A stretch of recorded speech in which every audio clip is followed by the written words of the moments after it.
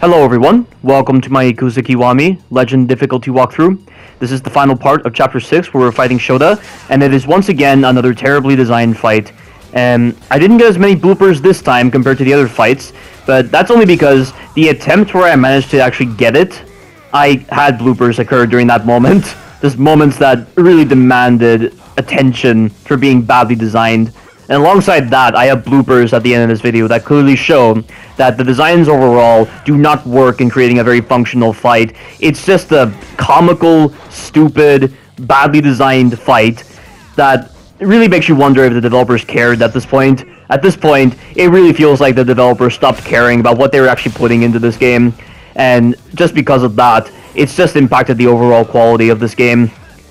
And Shota is a pain in the ass because he doesn't flinch properly. He gets these moments where he gets hyper armor randomly. The room is way too small. There's so many moments where you'll accidentally clip on an enemy or on an object, and the camera will get stuck, and you'll get punished because of it. And then Date, your AI partner in this fight, he gets in the way a lot.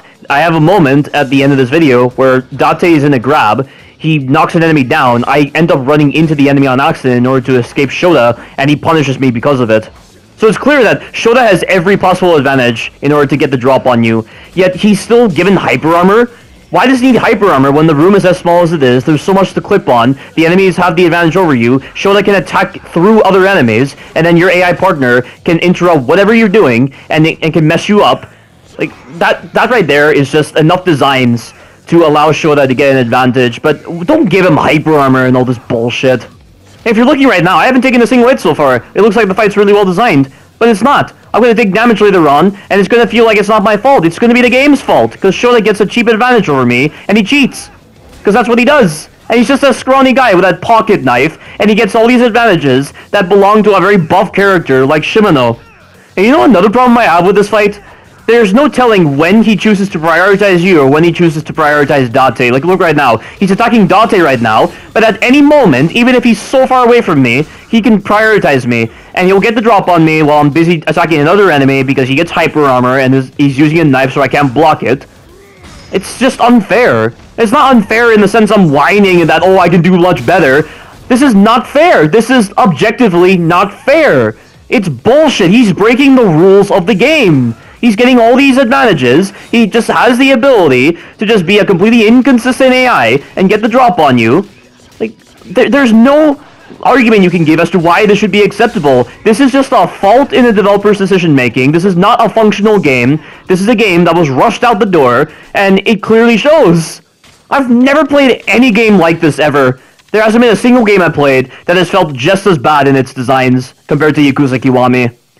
This game might look really cool. Its combat might look very interesting. It might look very accessible. It might have a lot of these skills. It might have a lot of really cool things with the side activities and with the characters.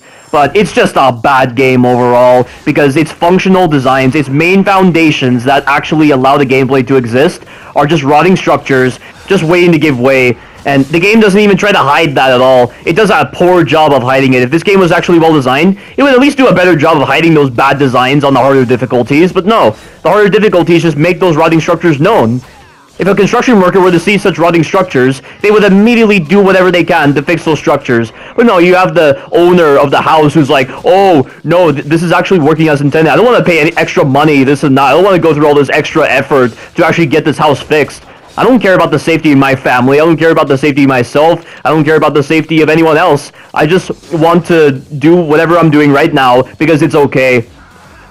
Like, that, that's exactly how I would describe the developers of this game. They just got so lazy when designing this game that they're not willing to put the time and effort necessary to actually polish this game because this is the model that has worked for so many years and no one has complained about it because everyone's played on easy difficulty. And it's just caused the gameplay to suffer overall. It's unacceptable this is one of the worst developers I've ever seen, and of course, it is made by Sega, and we, we all know how Sega caused game series like Sonic to actually go into the shit. And then we, they also sponsored Alien Isolation, which was a very buggy game, and it was a fun game overall, but the bugs really brought down the quality of that game. Like, Sega is clearly showing that they, they do not understand how to make a functional game. And like I said before, this is not a problem with bugs or anything. It's a problem with intended design choices that clearly weren't properly play tested. for this encounter, why couldn't they make the room bigger? Why couldn't they just make it where you're by yourself? Why couldn't they put in less enemies? Why couldn't they just remove the hyper armor aspect with Shoda? Like this guy can get hyper armor even when you're hitting his back. And the back is a guaranteed spot where the enemies don't have any chance of flinching unless you're dealing with a special enemy type like Shimano. But no, you're dealing with a scrawny kid who's wielding a pocket knife like some pussy, and it's giving him all these advantages. Like somehow the weapon is just giving him all this ability to actually be a better fighter than Kiryu. Are you fucking serious right now? Like what, what? This is this is magic. This is fantasy. This is just comical at this point.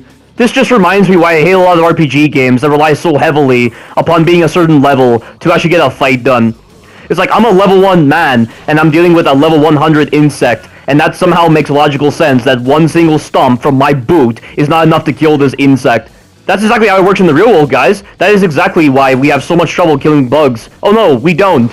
And apropos of this, this kid that we're fighting right now is somehow better than Kiryu in every aspect, even though he probably doesn't have any fighting experience uh, to the same degree as Kiryu. And yet, he's getting demolished by this one scrawny kid. Does that make any sense, guys? And it's all because he has all these properties that only exist if the world of Yakuza was a game. We can't have any logical mechanics, can we? We have to give all these enemies these advantages they don't need because it just impacts the overall flow of the gameplay and just allows us to make a supposedly difficult game when in actuality it's just a broken piece of shit. And that's the end of the fight right there. And now for some bloopers, and this is the kind of shit you deal with in a small area with so many enemies, and you get still knocked to death massively. And then same thing happens again where I'm just gonna mash the buttons like crazy because there's nothing I can do against this guy, and he punishes me very easily. Uh, same thing again, look at it.